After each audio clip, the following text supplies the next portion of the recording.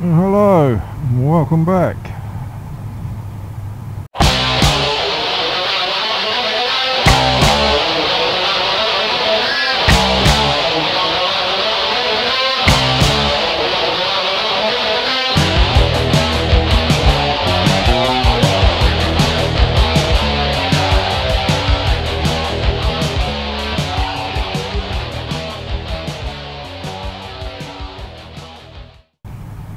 I don't know if some of you guys have been watching the news lately, but uh, European Union is uh, 2022 plan to bring in um, a new thing where every new car sold has uh, now let me get this right. It's um, intelligent speed assistance device what this does it a bit like your GPS it links up your, your satellite uh, so it knows exactly where you are at any time. It's got a map so it will know what speed limit is supposed to be there. Also it's got camera so it can pick up uh, the road signs speed limit road signs. And uh, you won't be able to go over that speed limit. It's actually quite a daunting prospect actually. Or I can see why they've done it sometimes. I think the original proposal doesn't include bikes but I can see eventually it will. I believe the original proposal doesn't include bikes but uh, they are looking into it apparently. But because of Brexit and all that, a lot of people are under the uh, assumption that uh, the UK is not going to have it. I've got a horrible feeling that our government will try and fall into line with uh, the rest of Europe with this one. So it's not going to be good. Alright, if you're over in America, Australia, Canada or whatever, it may not necessarily affect you.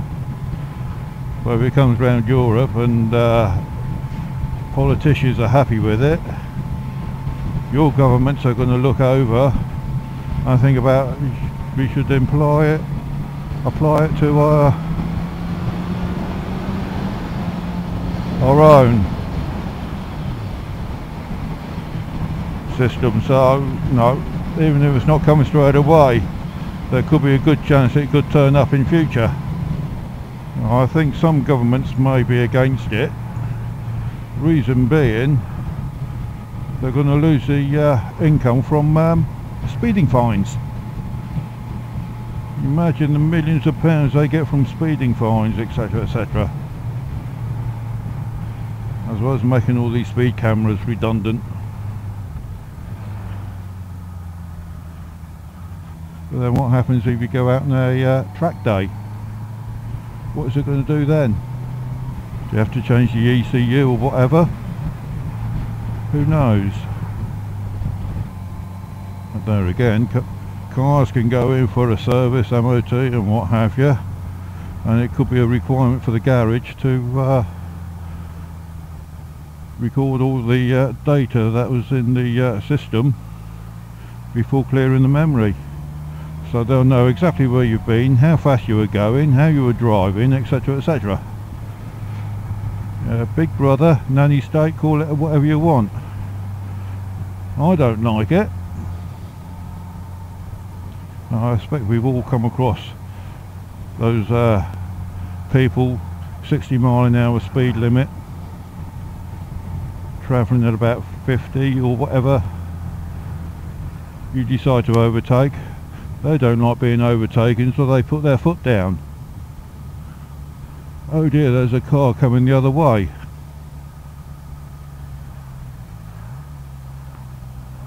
Uh, what's going to happen? It is going to be road rage, isn't there? A load of bloody road rage. What they've got to stop is people driving around like friggin' idiots. And some of these people that shouldn't really be on the road. Uh, but what about industry in three years time, eh? three years time anyone going to be buying a new car? A new vehicle with one of these devices fitted? I don't think so. A lot of people won't bother. Or they'll import it from another country unless they change the rules on imports so in three years time car industry is going to suffer because people ain't going to be uh, buying their cars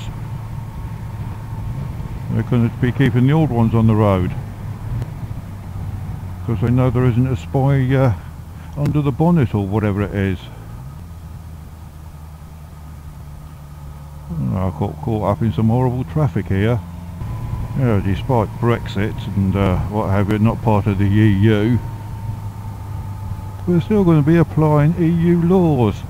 Oh, what? What's the point of coming out of it if we're going to be doing that? Hey? It's wrong. Totally bloody wrong. Have our own government not look watching everybody else, what they're doing, and follow suit like bloody sheep. I think that about sums up my little rant for the time being anyway. Draw your own conclusions. Leave a comment if you want. You know, maybe get a discussion going. But uh, I'm certainly against it anyway. So until next time guys, stay safe, don't break too many speed limits, and I'll see you next time round. Cherry bye. Gosh, there's a good traffic this way, isn't there? Bloody hell. All because of a dust cart. Oh well. They've got a job to do, like everyone else. You'll probably be clear by the time I get come back this way. Hopefully in about half hour.